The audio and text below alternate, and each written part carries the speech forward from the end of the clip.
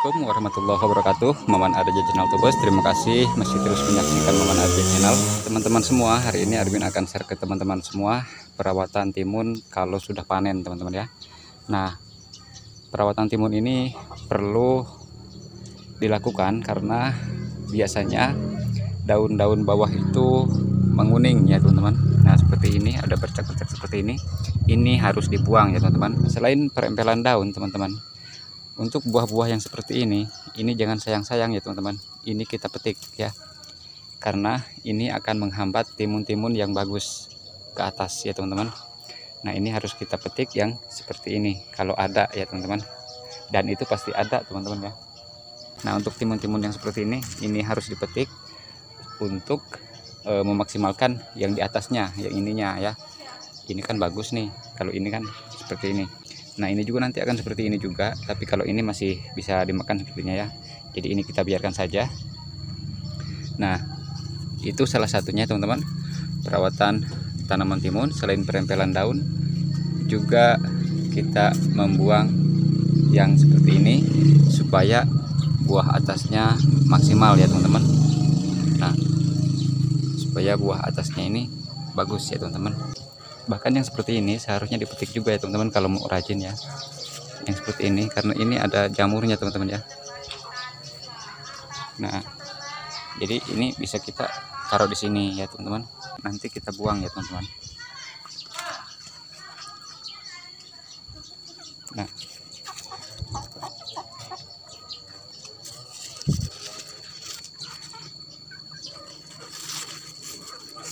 nah ini seperti ini. Ini dipetik aja teman-teman ya. Nggak usah ditunggu gede kita petik aja. Supaya yang di atasnya nanti bagus ya. Ini udah mulai petik lagi teman-teman ya. Untuk timun batara saat ini Alhamdulillah ya udah dipetik kembali ini pemetikan yang kesekian kalinya teman-teman untuk timun batara F1 nah ini ada lagi yang seperti ini teman-teman. Nah untuk yang seperti ini juga nih ini ini kita petik aja. Nah supaya yang lain nanti bagus. Nah nanti yang ininya bagus dia teman-teman ya. Buah bawahnya banyak juga yang jadi ya. Ini ke atas belum? Masih menunggu. Nah ini buah bawah juga ini teman-teman ya. Nah itu buah bawah juga teman-teman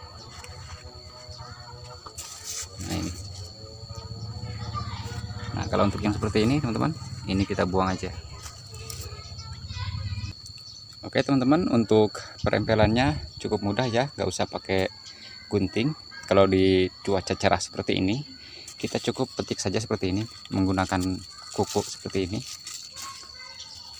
Nah sebaiknya daunnya ini dibuang ya teman-teman.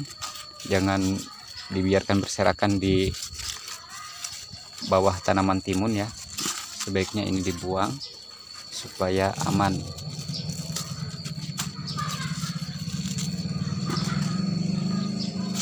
Nah ini ini daun-daun bawah seperti ini ini harus dibuang selain supaya buah atas maksimal juga menekan jamur yang seperti ini ya teman-teman.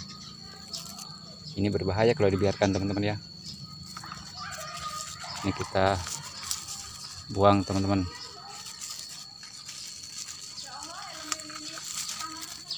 Nah ini ini yang seperti ini diambil aja teman-teman. Gak usah sayang-sayang ya. Ambil aja.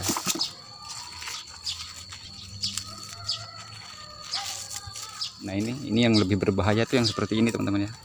Ini berbahaya ya kalau kita biarkan saja. Nah oke teman-teman. Arvin nanti akan tunjukkan tanaman yang sudah dirempel ya teman-teman. Itu di sebelah sana. Nanti pada akhir video admin akan tunjukkan seperti apa tanaman timun di usia panen ya di masa panen yang dirempel daunnya teman-teman ya. Nah untuk tutorial hari ini admin rasa cukup sampai di sini aja ya teman-teman admin akan melanjutkan pekerjaan dan selamat beraktivitas. Semoga tanaman kita baik-baik saja dan hasilnya berkah teman-teman. Admin pamit untuk tanaman timun Batara F1 panah merah Maman Arja Channel.